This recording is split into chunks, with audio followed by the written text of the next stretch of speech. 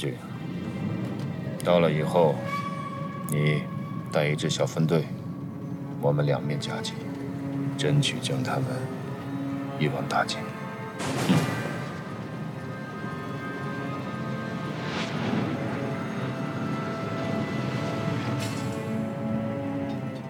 你可得记准了啊！长得吓人虎道这个啊，这是老鬼石，你可别领错了，听见没？不就这么一条道吗？怎么会领错呢？我们在这埋了这么多的炸药，这威力肯定小不了。所以说，这引爆的时机很重要，一定得掌握好。俺都知道了，你就把心搁肚子里吧。来，我在这儿预留了一个引爆器，只要一引爆，五秒钟就可以爆炸。你在这放啥拉火啊？这这离着咱这可可八丈远呢。常规操作都是这么做的，这叫以防万一。如果我们远处的引爆器出了问题怎么办？那谁来拉着拉火啊？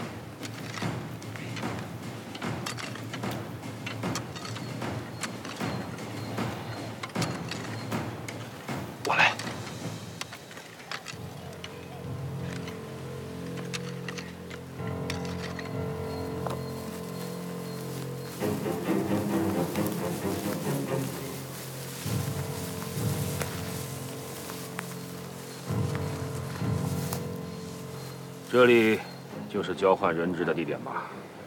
就在前面不远，此地叫鬼见愁。小泽君，我们就在这里分兵吧。你带一小队绕过隘口，从侧面攻击他们。我想，你不会因为任何事情让将军的夫人蒙难吧？人质交换成功，我会发信号弹给你，你再动手如何？如果将军的夫人有什么不幸，包括你之前的行为，我都会报告给司令部的。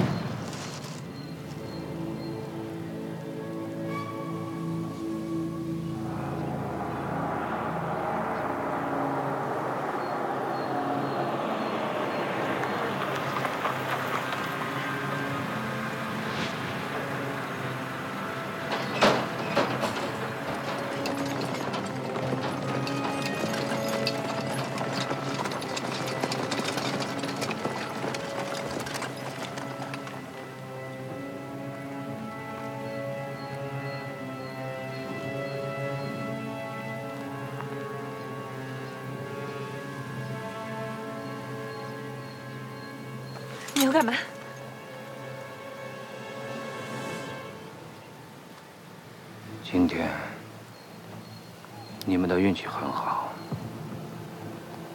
但是幸运也救不了你们。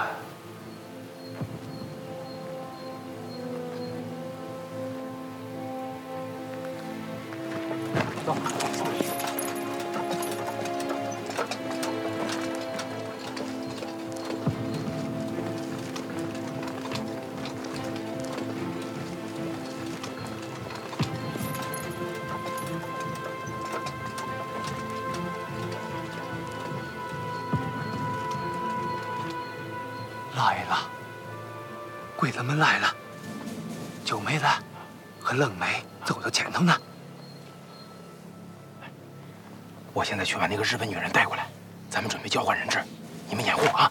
哎哎，还是俺去吧。不行，高技师，不都说好了让我去吗？你和白正掩护我，这是命令。那你可记住了啊，把鬼子们一定要引到这个隘口里头来，踩炸药上，听见没？万一他们要动手了，我们好啊，听见没？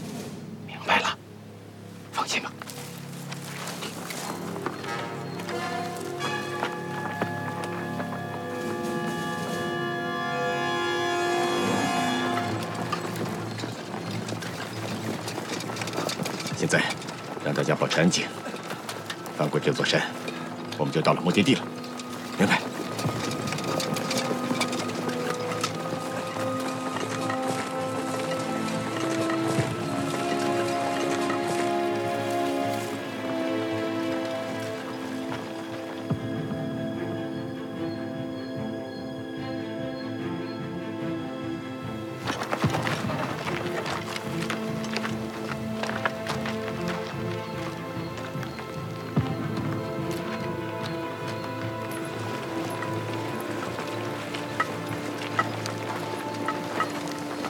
解决。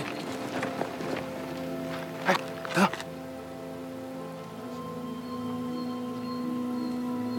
让我们在这里等他们过来。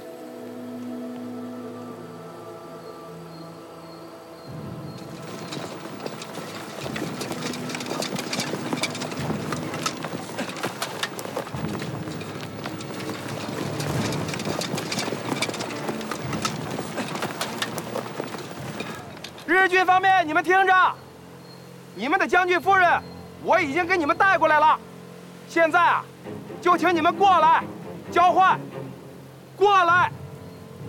走，慢着。我命令你前进了吗？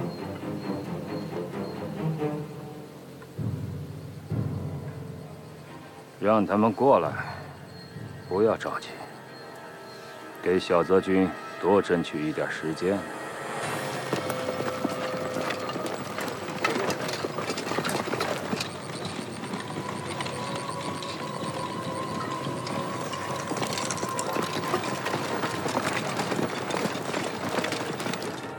原来你们这些日本人的胆子这么小啊！反正也是我们走在前面，万一有埋伏，也是我们帮你们挡子弹。放肆！慢着，佐藤君，现在不是愤怒的时候，向他们喊话。明白。你们的人在这里，我们是很有诚意来交换人质的。你们赶快把小泽夫人送出来，不然的话……哎哎哎，等等等等！哎呀，这可咋整？俺就说俺去，他偏不让。成成成，我让你争吧，这下好了吧？你有什么办法？人家说了，这是命令。你不会拿着枪也逼着那日本娘们的脑袋呀？照样学了你都不会？可真是的！你真敢开枪？开枪啊不敢，不开枪，不开枪就直接往他身上呲尿。哎，日军长官，既然这样，那我就实话实说了吧。你看看你们的兵力，你再看看我们的兵力，这相差的也太悬殊了吧？要是等一会儿交换完成了，那你们要是一翻脸把我们给扣下了，那我们不就是赔本赚吆喝了吗？哎呀，这个酸秀才，你跟鬼子讲啥道理呀？磨磨唧唧的，你以为这做买卖呢？他们不换，我们还不换了呢。俺就不信了，他们敢不换？吭哧吭哧的。我说你现在怎么这么絮叨？要不你过去说说。疯了你！八路军朋友，我是大藏根座，是这支部队的总指挥。既然你们实话实说，那我也就开门见山了。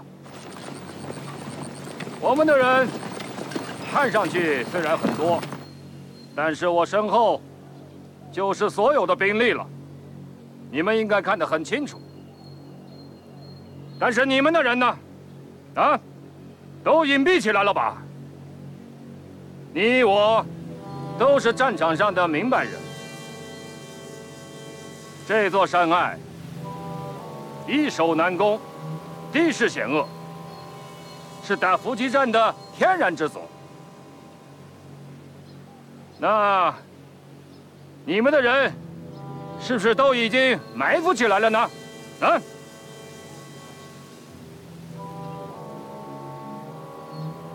日军长官，既然我们彼此之间都在相互戒备，那我提议，今天的交换就到此为止吧。哎，不过我得事先提醒你，我们自己的医疗技术是有限的，能不能保住你们将军夫人的小命，那我可就不敢做保证了。我们走了。走。慢着。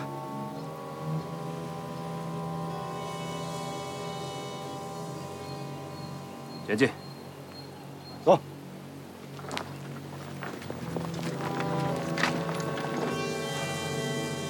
我们也走，慢一点。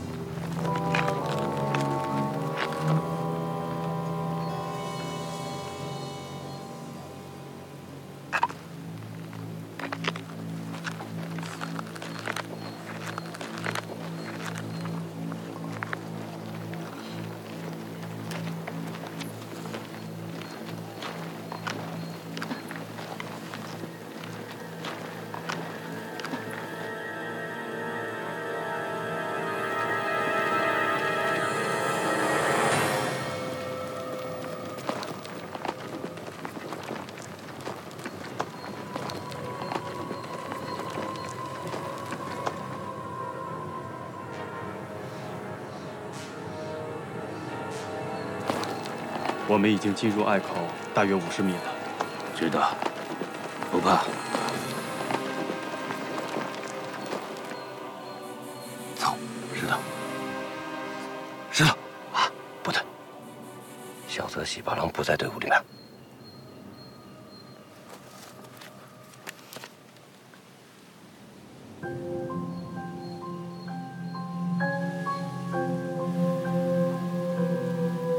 对呀、这救的是他嫂子，他咋不来呢？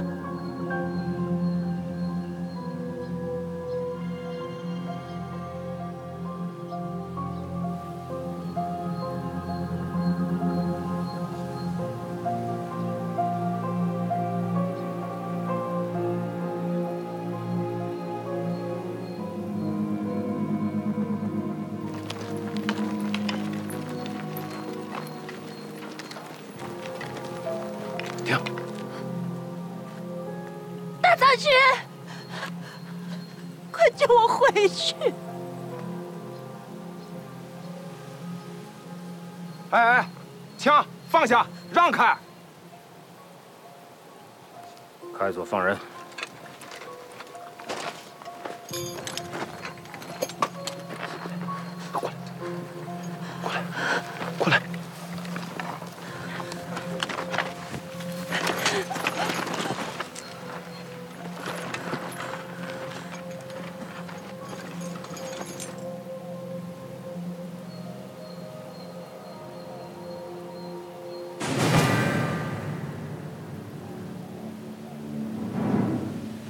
全体撤退，后退战斗，控制外面发信号弹。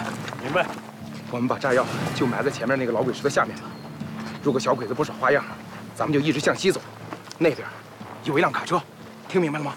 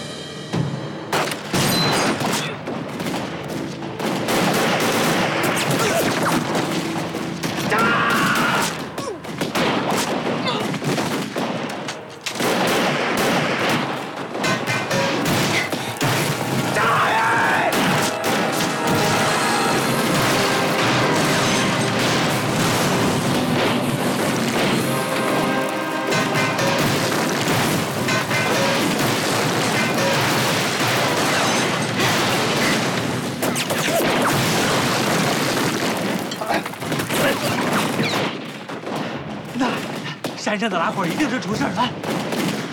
爱出来那个，追住！没事吧？没事儿。啊！你在干什么？不要开枪！不要开枪！日本军人就是这样不守承诺的吗？这就是你的武士精神吗？夫人受了惊吓，送她去安全的地方。是。大将军，你这样做，你这样做只会接受惨痛的教训，你知道吗？快走，这边危险！从这走。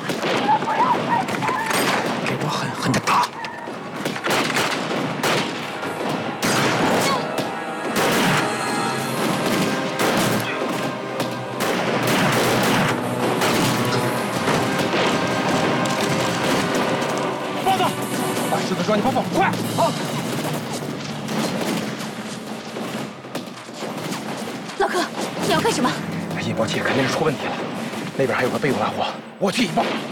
你别去，太危险了。没时间了，跟我来，快！老柯，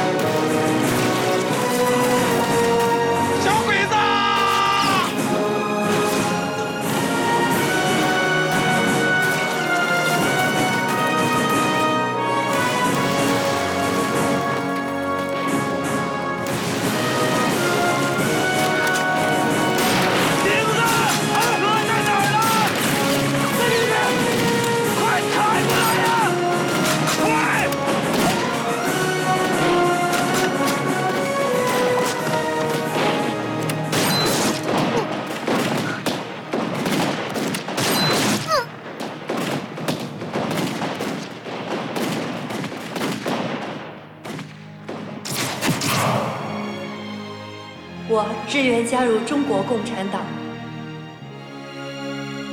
拥护党的纲领，遵守党的章程，履行党的义务，执行党的决定，严守党的纪律，保守党的秘密，对党忠诚，积极工作。为共产主义奋斗终身，随时准备为党和人民奉献一切，永不叛党。宣誓人，冷梅。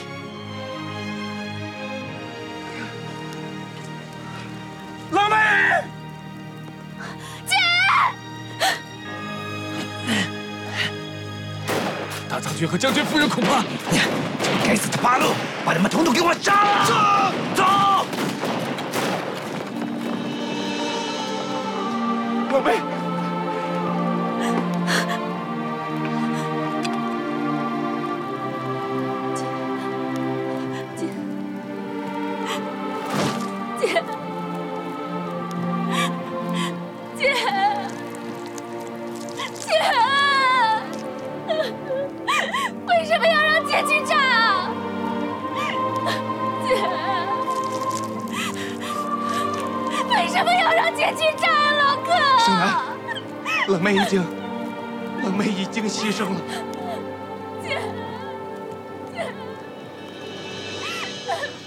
冷梅同志，这笔债，我们一定会替你讨回来的。姐，姐，中佐，中佐，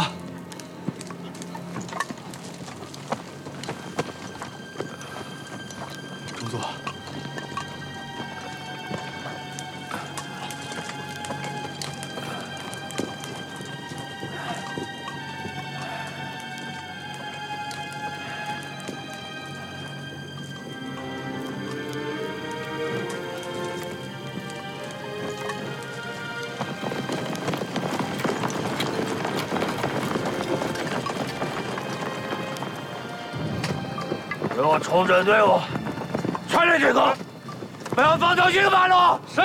给我冲！进攻！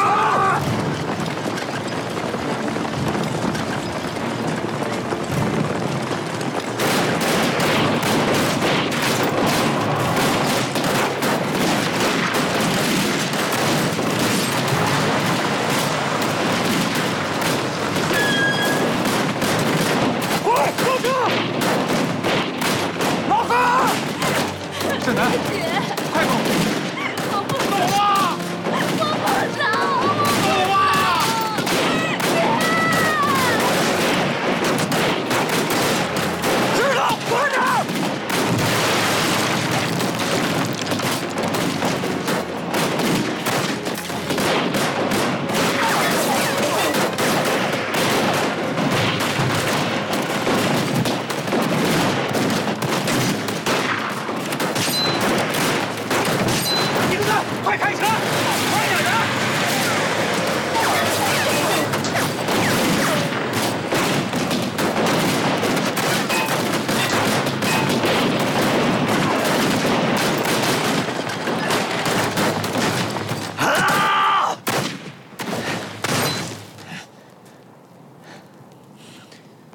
谢泽局，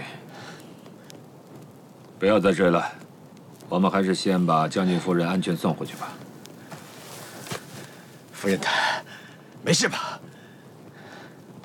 夫人只是受了一点小小的惊吓，应该没什么问题。那我要恭喜大藏军，圆满的完成了任务，而且也弥补了你之前犯的错误。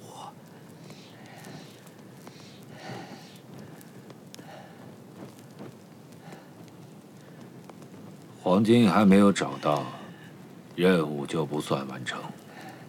我想，黄金的事情，你根本就没有向将军汇报过吧？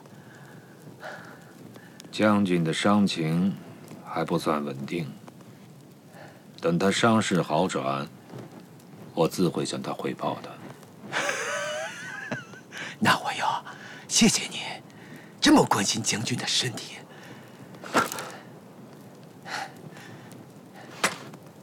走。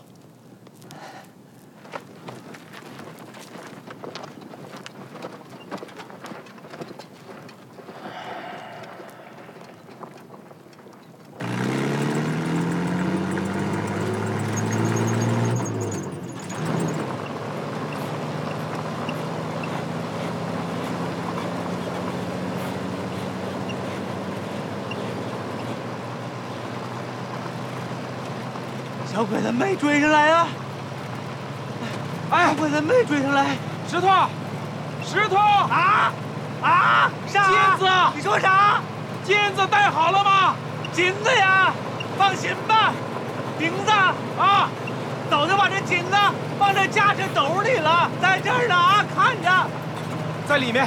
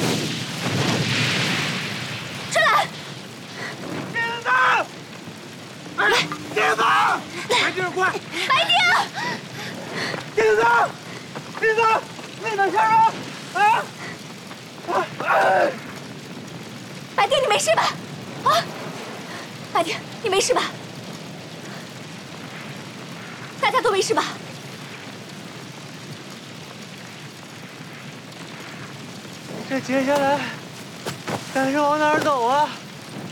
啊！冷梅告诉我，向西走奔金台，就是金台游击队，在那里我们可以补充一些给养和枪支弹药，而且只有到了金台游击队，才知道接下来往哪儿走。哎呀，我的老天爷呀！金台，金台俺是听说过，但是在哪儿俺是真知不道啊。行了，我们先奔西走吧。西，西，走吧。西，那头。走。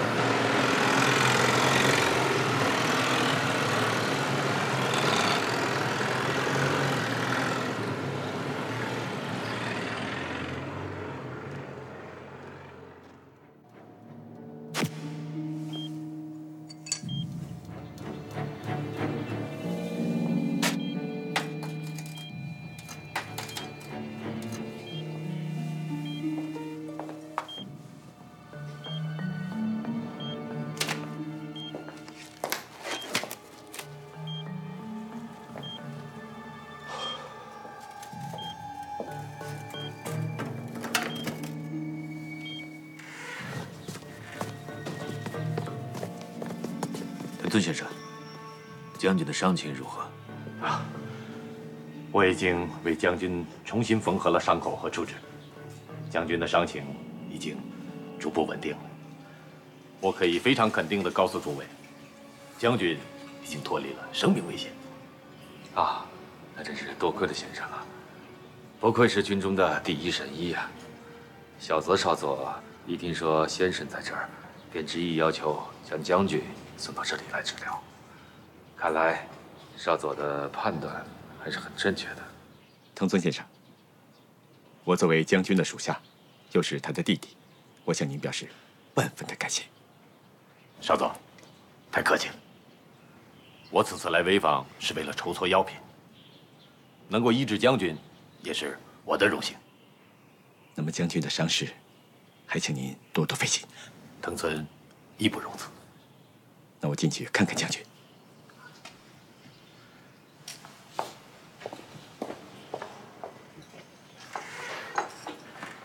啊，安森先生，咱们久别重逢，有时间要好好的聚一聚呀。一定一定。中佐阁下，我们几年没见，你的偏头痛好些了吗？还每天吃药吗？唉，本来已经好多了，但是最近接了一个重大的任务，好像要变得严重了。有空还需要藤村先生给我好好的看一看呀。中佐阁下，征战南北，呕心沥血，能够医治您的伤痛，也是藤村的职责。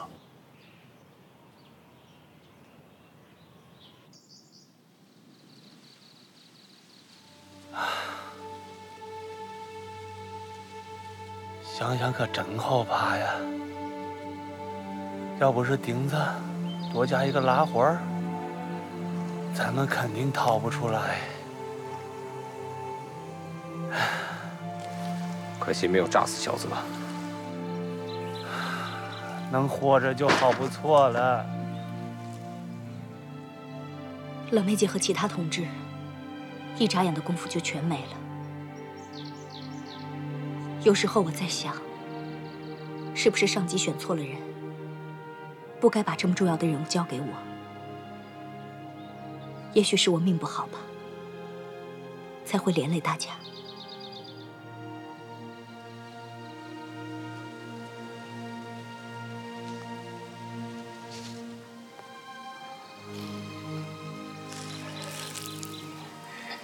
这几天牺牲了那么多的同志，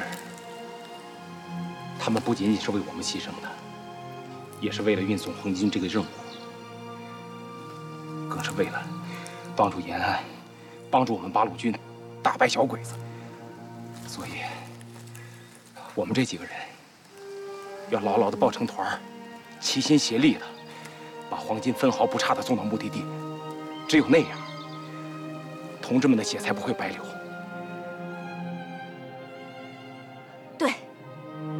我们不能让他们白白牺牲，所以大家要齐心协力，一起把这个任务继续下去。金泰，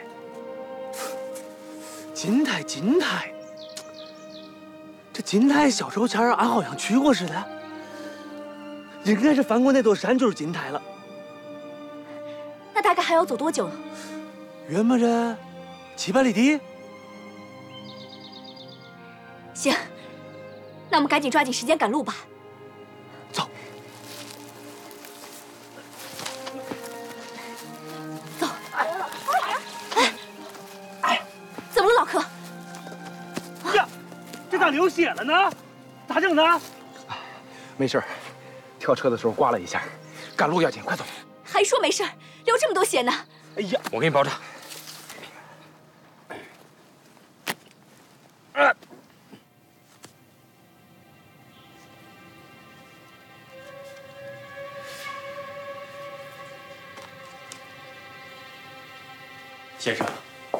中佐已经在诊疗室等您了。英子，你先去安置一下中佐阁下。先生，中佐阁下的头痛病啊，这是他的老毛病了。偏头痛是一种顽症，多是遗传所致。想要彻底根治，根本是不可能的。我也只能是用针灸的方法，缓解一下他的情绪，调理一下他的神经。中佐阁下已经很久没有被这种病困扰了，不知道为什么最近又发作了。这是跟最近高强度的连续作战有关，高度精神紧张导致了他偏头痛的发作。现在他唯一能做的就是休息。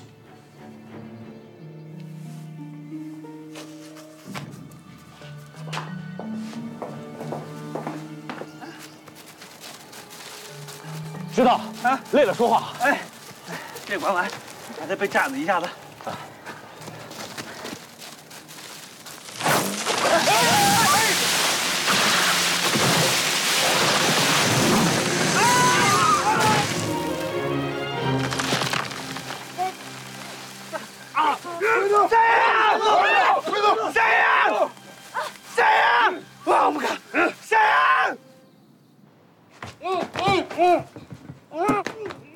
小五子，其他人呢？其他人都管好了，就这小子不老实。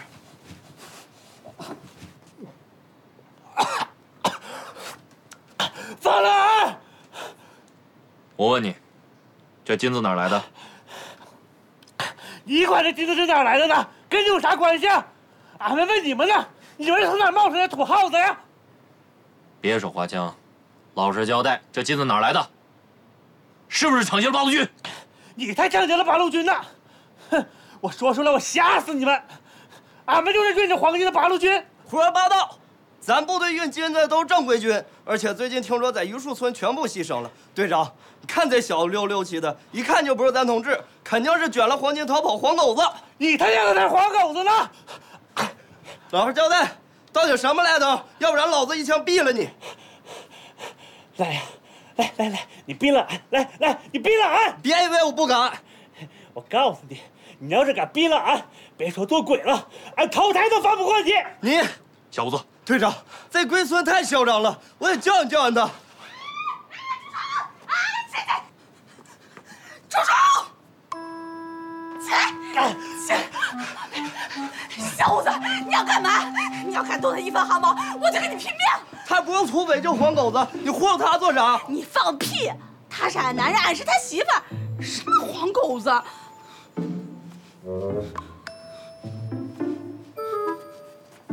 冤家哎，你咋在这儿呢？什么冤家？俺叫小脚，凤小脚。我的娘啊，俺不是见鬼了吧？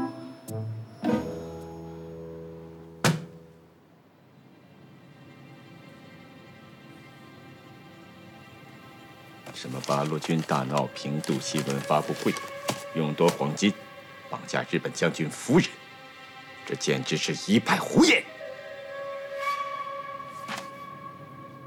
蛊惑人心，不足为奇。难道我们现在还不应该行动吗？如果您觉得头疼，我可以理解，我可以亲自带队出发。您就在这里，好好的休养。中国人有句俗话，叫“心急吃不了热豆腐”。小泽君，看看这张地图，上面写的很清楚：黄金部队要想继续前进，只有两个选择：一就是走潍坊县城，二就是走金台村。我愿意带兵去金台村，将他们全部歼灭。八路的传单满天飞，无非就是想证明他们的地下网络还在，还有就是坚定老百姓的信心。所以，我们只要抓住他们，并且把黄金重新夺回来，就可以立刻变被动为主动。打击掉他们军民反弹的气焰，彻底粉碎他们抗战的决心。这次一定要将他们全部擒获。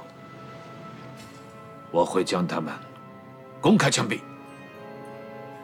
到时候，什么传单、谣言，都会自动粉碎的。为了帝国的荣誉，你可以出发了。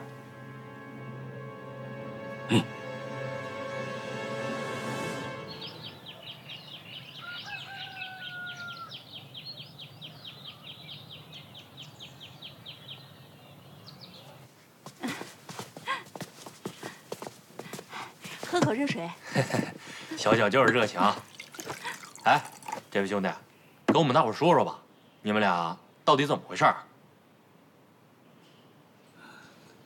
俺叫苟金石，小小啊，是俺媳妇儿，还没娶她呢，没过门那个一年前啊，夏天那前儿，俺们村发大水，这各家各户就都逃难，叮咣的就都走散了，俺就找她，就没找着，人家就说呀，石头啊，别找了，这小脚命不好，掉河里喂鱼去了。这，俺就以为他真被那鱼给吃了呗，这谁知道？就在这就见着了，脚啊，你可不知道啊！你走这一年呀，咱村里可发生老多变化了，二毛子啊、狗子呀，都死了。俺是真没想到啊，就就见着你了。这个，你看讲讲，这咋就冲这儿来了呢？咋就到金台村来了呢？俺当年这跳进河里是不假，可是俺冯小小呢，俺福大命大。没给喂了鱼，倒是被金队长给救下来了，跟着队伍就到了金台。石头，俺可是回去找过你啊，可是你说这兵荒马乱的，到处都打仗，俺走到一半就打起来，俺这被迫就逃回来好几次。石头，俺一直找你，俺找你好几回啊。我知道，俺都知道，那，就金大哥把你给救了。对，我看小脚啊，确实没地方可去了。就把他给留下来了，给我们游击队啊当厨子。金大哥呀，那你就是小脚的救命恩人呐！俺替他爹他娘谢谢你了。哎哎，快起来，快起来，快起来！哎呀，谢谢。哎，哎，刘同志，我一大早啊就让小五子去请郎中了，现在应该快到了，我去迎一下。行，麻烦你。金队长，哎哎，我跟你一起去。好。哎，金大哥，俺一会儿就给您送草药去哈。好嘞。那啥。俺跟这冯小整这亲事儿啊，是娃娃亲，娃娃不懂事儿，可也不算数。啥不算数啊？啊？啥不算数？娃娃亲咋了？娃娃亲还是你媳妇。不是跟你说了，可以让你再娶一房吗？不会委屈你，你干嘛？说啥呢你？说啥了我？行了，就不耽误你们夫妻团聚了。我去看看老柯的伤。哎，妹子，哎给你搭把手吧。不用了，谢谢。春兰，走。那啥，我我我去给你搭把手。干啥呀？你干啥去啊？我去给人家送碗水。你送啥水啊？苟金石，你这就叫热脸贴人家冷屁股。都一年没见了，这都死一回的人了，你咋还没变呢？啥这不是还摸冷屁股？你咋知道人家屁股是冷的呢？你摸了？